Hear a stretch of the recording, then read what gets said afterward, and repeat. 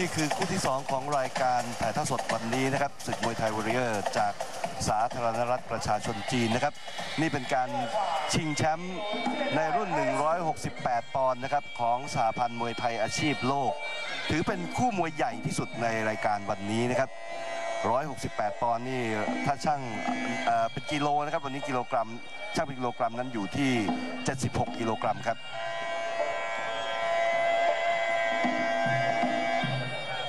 นักมวยไทยของเราก็คือ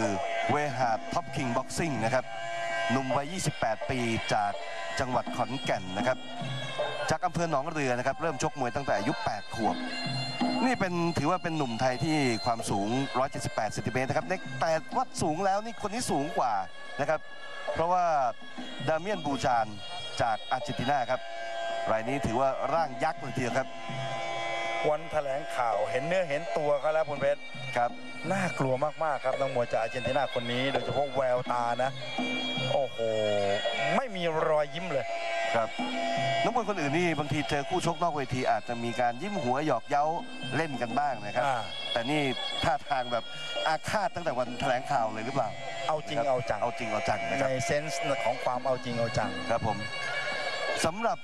ทางด้านของดีกรีของนักมวยทั้งคู่นะครับ ทางเวหาสนี่อดีตแชมป์ราชดำเนินรุ่น 160 ปอนด์แล้วก็อดีตแชมป์มวยสหพันธ์มวยไทยอาชีพโลกนะครับเคยเป็นแชมป์ในรุ่นนี้มาก่อนนี่ครับกำลังขัดสมาธิไหว้ครูนะครับ บริกรรมคาถานะ ครับ น่าจะเป็นลักษณะแบบนั้น ตอนแรกๆที่มาต่อยในเวทีเมืองกรุงใหม่ๆนะครับอยู่ในสังกัดค่ายราชานนท์นะครับปัจจุบันมาอยู่ Top King Boxing ของเสี่ยหนุ่ม แล้วก็ฝากซ้อมอยู่ที่ค่ายแสงมรกตนะครับ ส่วนบูฮานนี่ บูจานนี่ดีกรีกยาวเหยียดเลยนะครับ อายุ 30 ปีแล้วครับบูจาน ส่วนเวหาดนี่28ขี่ขี่อายุกันประมาณ 2 ปีนะครับ นักมวยอาร์เจนไทยคนแรกที่ชาวไทยรุ่นเก่าๆจำกันได้ดีปาสกาลเปเรสครับที่มาชกกับโผลกิ่งเพชรของเราครับนะนี่แหละครับนักมวยอาร์เจนตินาที่เราก็เห็นฟุตบอลที่เขาวิ่งเอาธงชาติครับ ผูกนะครับ วันนี้เรามาเห็นนักมวยครับ เป็นครั้งแรกเลย ครับ เป็นเอ่ออาร์เจนตินาที่หลายหลายเผ่าพันธุ์เหมือนกันนะครับ ถ้าเราเห็นอย่างมาราโดน่านี่จะเป็นพวกพื้นเมือง ใช่ แต่ถ้าเป็นเมสซี่นี่จะออกฝรั่ง นี่บูจานนี่ก็อยู่ในแนวเดียวกับเมสซี่นะครับ อ่า ก็คือเป็นเชื้อชาติของชาวยุโรป ที่นะไปอ่าตั้งรกรากครัที่บนั่นแล้วก็มีลูแต่กหลาน ครับ แต่คนนี้ ขอนแก่นส่งเข้าประกวดโดยแท้โอ้ยครับเมืองของไม่นักกีฬาเลยครับ น้องแต้วเอ่ยสมรักนะฮะครับณเดชน์ณเดชน์ด้วยนะ อ่าครับ เมืองขอนแก่น โอ้โหนี่ดูแกสักนะครับ ส่วนมากนักมวยต่างชาติที่มาฝึกมวยไทยครับ สิ่งหนึ่งที่เขาจะได้ไปก็คือ วัฒนธรรมไทยบางส่วนนะครับ บางรายก็โอ้โหถือว่ากลายเป็นคือเหมือนจะเป็นคนไทยไปเลย ยกที่หนึ่งครับ ระหว่างเวหาส Top King Boxing เวหาสนี่สมัยต่อยมวยไทยนี่ไม่ใช่มวยที่แข็งแกร่งนักนะครับ อาจจะเอ่อเรียกว่าโดนไม่ได้เหมือนกันนะครับ แล้วก็อาร์เจนตินานี่พวกสำหรับบูจานนี่เห็นบอกประเภทล่ำหักล่ำโค่นด้วยนะครับเตะต่อยรุนแรง อ้าวถีบหงายท้องไปเลยครับมีรอยยิ้มครับมีทักรอยทายยิ้มนี่แบบทักทายแบบไทยแท้ป่ะนี่ครับทักทายกันโอ้ทักทายที่หงายท้องไปเลยมื่ยื่นหมัดมาปะกันขอโทษเว หาดนี่เมื่อก่อนเรามีเวหาดเหมือนกันเวหาดนภาพลจำได้ไหมครับขุนเข่าครับขุนเข่านาปาม แต่นี่เป็นเอ่อมวยรูปร่างสูงยาวนะครับสำหรับเวหาท็อปทีบ็อกซิ่งถ้าหากว่าเราบอกว่าคู่แรกเสกสรรนี่เป็นประสบการณ์ครั้งแรกในการชกกับนักมวยต่างชาตินะครับ แต่สำหรับเวหานี่ตรงกันข้ามครับเขาผ่านนักมวยต่างชาติมาไม่ต่ำกว่า 30 คนนะครับ เหตุผลคือรูปร่าง รูปร่างได้ชกต่างชาติเออครับหานักมวยไทยต่อยด้วยกันนี่หายากครับใช่หาคู่มวยไทยลำบากก็เลยต้องหันไปชกกับนักมวยต่างชาตินี่ถือว่าธรรมดามากครับปัจจุบันนี้ชกกับนักมวยต่างแดนนี่เป็นเรื่องสิวๆสำหรับเวหาดนะครับเออเออเออดูลีโยนลาหิครันบถามทางเอาหมัดล้วงไปอย่างนี้ทำอย่างไรแม่ใช้ได้เลยนัก มวยขอนแก่นอีกคนหนึ่งนะครับที่รูปร่างแล้วก็เอ่อดีกรีการชกนี่คล้ายๆ กับเวหาดนะครับก็คือก้าวไกลแก่นนรสิงห์อ่านะครับแต่ก้าวไกลนั้นปัจจุบันนี้ก็ถือว่าผ่านพ้นช่วงวัยไปแล้วนะครับช่วงวัยที่ดีไปแล้ว ตอนนี้มาดูเวหาดบ้างนะครับเวหาดนี่ 28กำลังเหมาะนะครับถือว่ากำลังเหมาะเหมือนกัน ประสบการณ์มวยไทยโชคโชนครับโดนไหมอ้าวโดนนะครับยืนปักให้เตะตัดเล่นนะครับเฉยๆครับยังเฉยๆต้นขาของนักมวยไทยนั้นหนาปึกอยู่แล้วนะครับ ในขณะที่นักมวยฝรั่ง ส่วนใหญ่ถ้าโดนนักมวยไทยเจาะยางเขาให้มักจะอยู่ไม่ค่อยได้นะครับไปหาจะลองเจาะยางบูฮานดูบ้างไหมโอ้โอ้ยโหไม่ใช่เจาะยางนะครับนี่เล่นจระเข้ฟาดหางนะครับตวัดเข้าต้องถามคำถามพลเพชรนิดนึงในฐานะครับบกมวยตู้ครับบรรยากาศของมวยไทยชกกับต่างชาติมากขึ้น แล้วก็รางวัลค่าตัวที่เพิ่มขึ้นเนี่ย กลายเป็นเป้าหมายของนักมวยยุคนี้ไปไหม มีส่วนอย่างยิ่งครับ เพราะว่าอย่างนักมวยไทยเบอร์หนึ่งแห่งยุคนะครับที่วันนี้ก็มาชกด้วยอย่างแสนชัยนะครับ แสนชัยนี่บอกเลยนะครับว่าเพิ่งจะแหมมาค้นพบขุมทรัพย์อวีตอนอายุป่านนี้นะครับชกกับมวยต่างชาตินี่ความจริงแล้วเอ่ออาจจะกดดันบ้างนะครับ แต่ค่าตัวดีเหลือเกิน ค่าตัวดีนะครับ แล้วขณะเดียวกันก็ถือว่าเป็นทูตมวยไทยไปด้วยในตัว หมดยกที่หนึ่งครับ 第二场第一轮已经结束。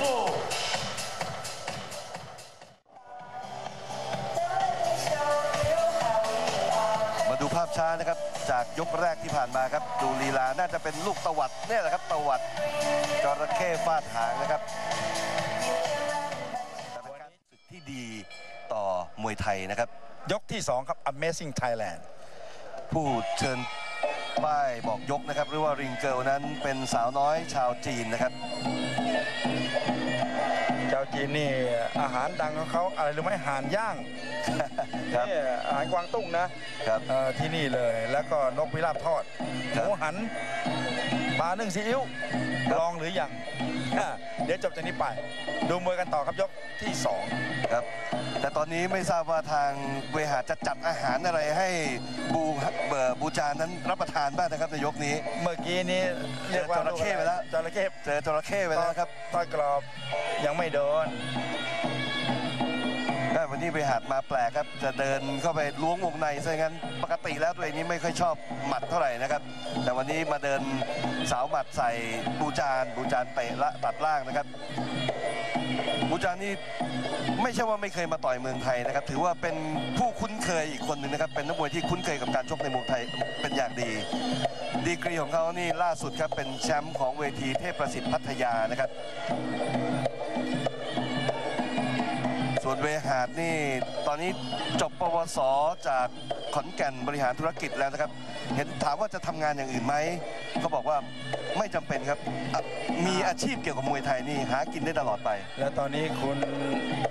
ธนวัฒน์วันสมครับ เข้ามาเจรจาติดต่อประสานงานกับเครือข่ายต่างประเทศ ESPN อะไรต่อไม่อะไร เพื่อจะนำ product ของไทยนี่นะครับ ไปเผยแพร่ขึ้นขึ้นห้างเลยครับค่าตัวนักมวยก็จะเพิ่มขึ้นครับ ถ้าได้ไปต่อยในอย่างสหรัฐอเมริกานี่เชื่อว่าเป็นดินแดนของลาภรางวัลค่าตัวนี่หายห่วงแล้วครับไม่ต่อยแล้วก็ทั่วโลกได้ดูพร้อมๆกัน ค่าตัวก็แพงแต่ค่าลิขสิทธิ์ทีวีครับอ่า ดูกันต่อครับครับก็คู่นี้นะครับถ้าหากว่าดูนักมวยยังไม่มันนะครับดูกรรมการก็ได้นะครับ กรรมการคนนี้คือกรรมการจอม action เบอร์หนึ่งของเมืองไทยยุคปัจจุบันนะครับกรรมการพิจิตรพรหมคงแห่งเวทีมวยอ้อมน้อยนะครับบางทีโอ้โหนี่โชว์ลีลานี่พี่ตุ่มเคยเป็นผู้รักษาประตูใช่ไหมครับนี่เหาะเหินในอากาศเหมือนกันเดี๋ยวนะครับดูถ้ามีโอกาสนะครับอ่านี่ต้องบอกนี่ชกกัน ต้องสร้างความประทับใจให้ผู้ชมนะครับชกชกกันหน่อยแน่นอนอีกคู่หนึงครับคู่นี้ก็เหมือนกันครับเหมือนกับคู่แรกเสกสรรนั้นได้ไปแล้วนะครับ10,000 บาทจากสสนพินทรเวหานี่ก็เหมือนกันนะครับถ้าหากชนะได้ในคู่นี้นะครับก็จะได้รับเงิน 10,000 บาท เช่นเดียวกันท่านสสราชบุรีครับ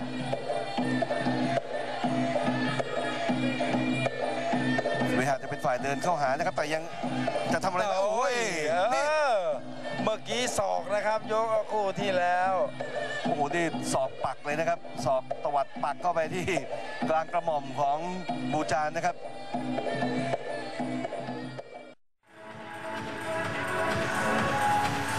ยกที่ผ่านมานะครับ ดูครับว่าเจอศอกเข้าไปร่วงเลยนะครับสำหรับจุบูเอ่อดามียนบูจานจากอาร์เจนตินาครับทีมงานที่ให้น้ำอยู่นี่ก็ ทีมงานจากค่ายสัตว์ศรีประภายิมนะครับ ในขณะที่ทางเวหาดนะครับ ก็มีคุณสุนทรอู่ทองครับผู้จัดการค่ายสอสมหมาย ก็มาถือว่ามีมีส่วนร่วมนะครับ มาช่วยกันเชียร์มาช่วยกันสอน ส่วนที่กำลังให้น้ำอยู่นี่คุณเจี๊ยบนะครับปรัชญากันภัยคนเดินลูกประชายเสริฐการภัยส่งเข้าประกวดครับ มาตั้งแต่วันที่ 16 ดี๋ยวนี้ก็ถือว่ามาเป็นคนสนิทครับคิดใกล้มาอยู่ในทีมของมวยไทยวอริเออร์ด้วยนะครับสำหรับคุณเจี๊ยบเอาละครับยกนี้ลองดูสิว่าเวหาดจะยังไง เพราะเหมือนว่า 2 ยกที่ผ่านมาจะถนอมน้ำใจอาร์เจนตินาวันนี้นะครับคุณเทพิทักษ์ครับมวยหลายคู่นี่น็อกกันยก 3 ถ้าเป็นส่วนใหญ่นะครับตั้งแต่คู่แรกก็ยก3นะครับคู่ที่ 2 ก็ยก3คู่เมื่อนี้สักครู่มานี้ถึงยก 3 แล้วครับครับ จะผ่านพ้น คิลลิ่งโซนได้ป่ะสามสี่นี่นะครับนักมวยไทยเริ่มเริ่มดุขึ้นแล้วครับเวหาดก็ไปทำท่าเหมือนจะคว้ามาตีมาเสียบนะครับ โอ้โหโอ้โหเดินโอ้โหเดินต่อยหมัดฟันศอกครับ เกาะแล้วครับเกาะนี่อาวุธถนัดนะครับตีเนี่ยครับอาวุธถนัดมวยสูงยาวแบบนี้ไม่ต้องบอกนะครับว่าอาวุธถนัดคืออะไรสำหรับเวหาดเสียบครับ เกาะแล้วเสียบ บูจานจะมีอาวุธทีเด็ดอะไรมาโต้มาต้านนะครับ เดี๋ยวดูนะครับว่านักมวยต่างชาติเดี๋ยวนี้เขาเรียนรู้มวยไทยไปหลายขบวนแล้วนะครับ เจนจบวิชามวยไทยแม่ลูกนี้อ่านี่หลบแข้งนะครับด้วยวิธีล้มตัวชิงล้มซะก่อน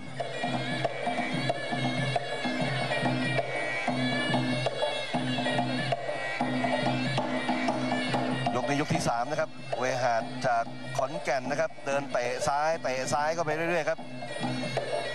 บรรยากาศการดูมวยของเมืองจีนยังไม่เหมือนดูที่ประเทศไทยเนาะครับ ยังไม่มีการส่งเสียง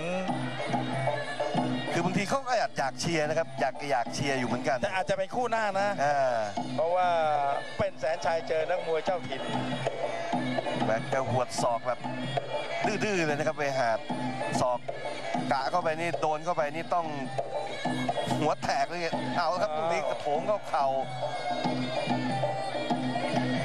ดาเมียนบูจานแชมป์เวทีเทพประสิทธิ์พัทยานะครับ วันนี้มาต่อยเมืองจีนแม่ยังโชว์พิษสงไม่ออกนะครับ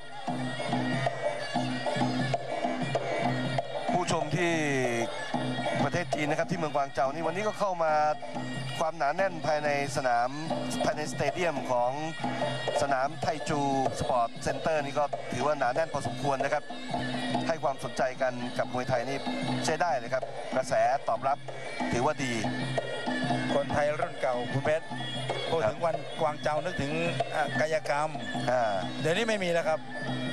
เดี๋ยวนี้ไม่มีกายกรรมกวางเจาที่นี่ครับถือว่าเป็นแหล่งผลิตนักกีฬาต่อสู้ของสาธารณรัฐประชาชนจีนนะครับ นักกีฬาวูซูระดับเหรียญทองจากการแข่งขันกีฬานานาชาตินะครับ หลายคนมีถิ่นกำเนิดอยู่ที่นี่นะครับเรียกว่าเป็นเมืองเมืองคนสู้คนนะครับสำหรับกวางโจวแล้วก็น่าที่จะมวยไทยของเราก็น่าจะถ้ามาเผยแพร่กันอย่างต่อเนื่องนะครับ และเป็นระบบ ก็น่าจะทำให้ประชาชนที่นี่ 18 ล้านคน อย่างที่เขาบอกนะครับว่าคนจีนเนี่ย ถ้าซื้อสินค้าอะไรหรือว่าซื้อแค่คนละคนละชิ้นนะครับ สมมุติว่าเอ่อแฟนมวยชาวจีนร้อยคนนี่เป็นแฟนมวยไทยสักหนึ่งคนจำนวนเท่าไหร่ครับ คิดดูอะหมดยกที่สาม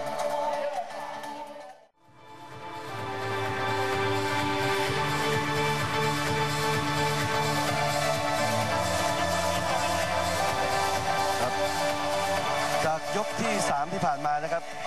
ดามเมนบูจานั้นรอดพ้นจากการ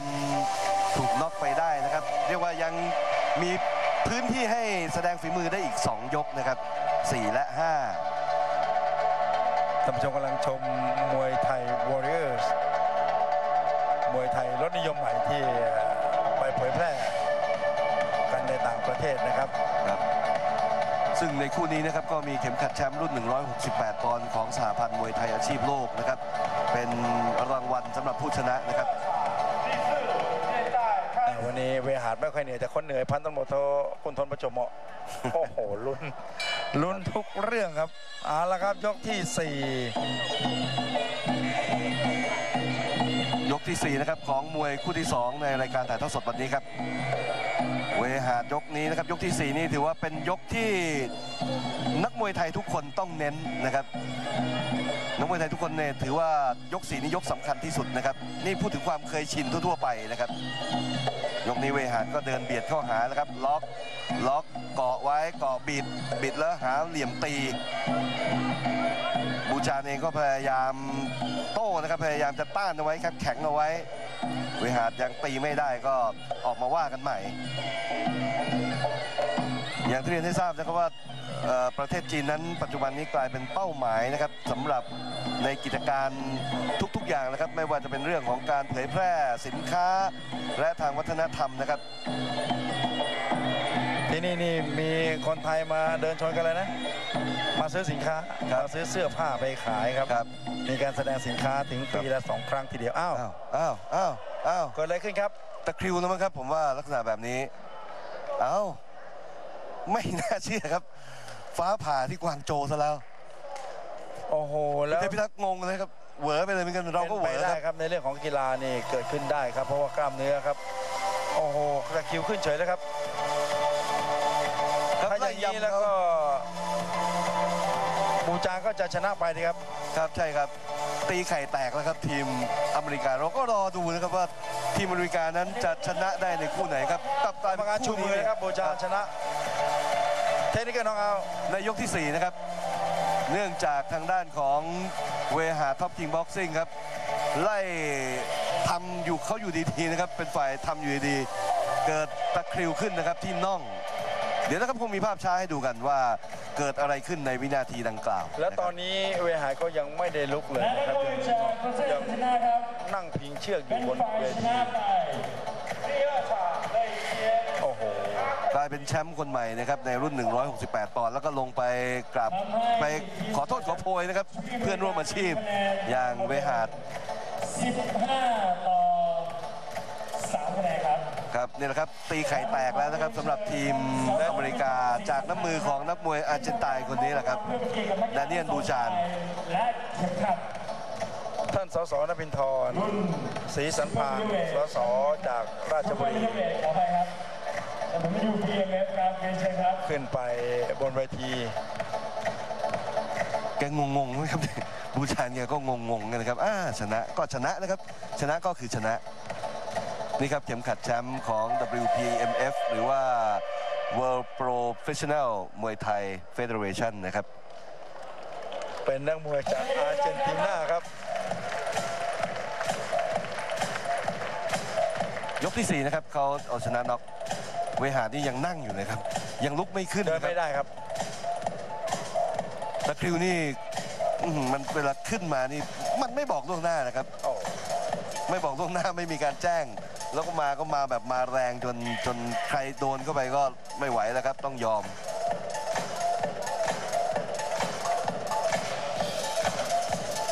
ครับก็เป็นอันว่าทีมสหรัฐอเมริกาเอ่อทีมอเมริกานะครับก็ได้แต้มแรกนะครับของสามคะแนนวันนี้ครับ เรื่องธรรมดาครับพักกันสักครู่หนึงครับท่านผู้ชมครับแล้วเดี๋ยวมาชมนี่ครับว่าน่าจะเป็นจังหวะนี้หรือเปล่าดูนะครับว่าโดนโดนอะไร โดนเตะก็ต้นขานะครับ โดนเตะต้นขาสักครู่ครับ